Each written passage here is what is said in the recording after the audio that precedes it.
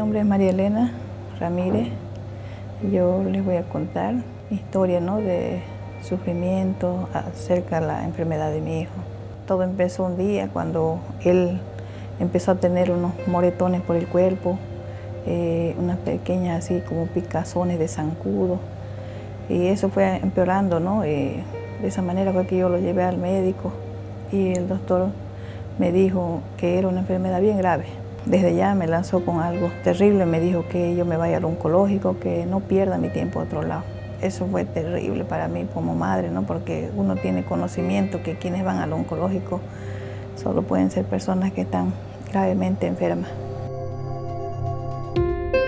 Eso fue horrible para mí, sinceramente fue grave, solo yo sé lo que pasé ese momento, ¿no? Fue, lo que hice fue correr de un amigo porque ni mi esposo estaba aquí a contarle, ¿no?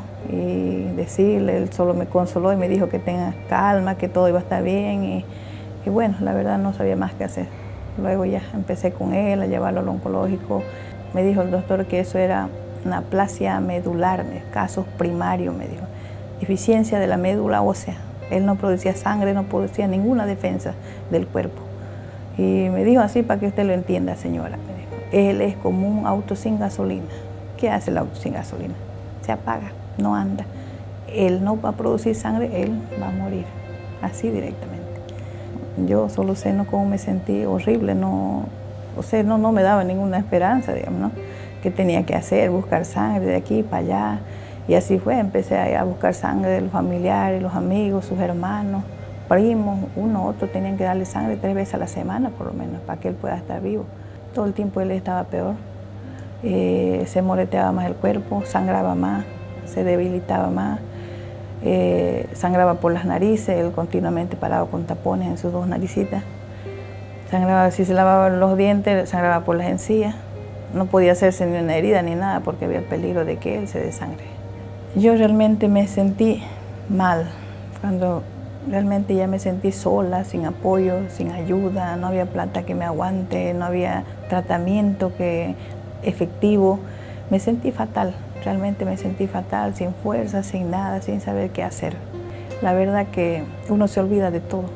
Uno, al menos yo me enfoqué solo en mi hijo, el enfermo, ¿no? y yo tenía otro hijo de los cuales me había descuidado, me olvidé que estudiaba, me olvidé que ellos también necesitaban atención, solo caminaba con él porque, o sea, me, me golpeó tanto la magnitud del problema, la enfermedad, que, que solo me enfocaba en eso, en ayudarlo a él, nada más. Me olvidé de los otros y empecé a analizar la magnitud del problema, la enfermedad, no sabía qué hacer, me hablaban ya de, de trasplante de médula, eh, de 50, 70 mil dólares, esas cosas, no, no, no entendía yo, porque si a veces no tenía ni para ¿de dónde iba a sacar un trasplante de médula? Los médicos más que los únicos, los últimos que yo esperaba que estén ellos conmigo, ya ellos también lo desahuciaron, dijeron que no había más nada que hacer, que lo lleve a la casa, que él tenga el tiempo que le quedaba con sus amigos, su familia. Esa fue la situación más terrible que pudo haberme dicho él, ¿no?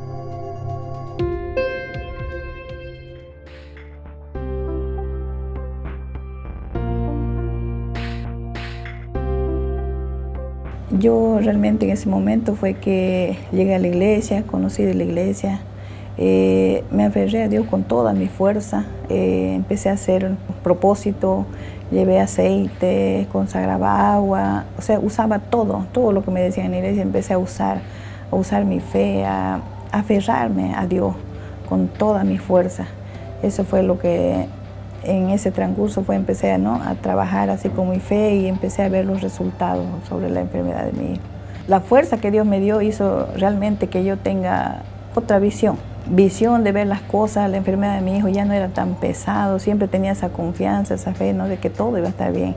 Nos da fuerza sobre todo, nos da valor para continuar, para pelear, no importa que la cosa se, se complique, no importa lo que el médico diga, pero uno tiene otra visión. Así a lo último, cuando el médico me dijo, ya no hay más nada que hacer, ¿no? Él me dijo, no hay nada que hacer, llévelo a la casa. Entonces, yo me, en ese momento fue como que Dios mismo vino a hablar y me dijo, no, el médico no es quien dice la última palabra, es Dios. Ya, yo ya lo tenía con certeza que Él me lo iba a curar. Dijo, no, es Dios quien da la última palabra. Al otro día fui y le dije al médico que ya no me le coloque más sangre mi hijo.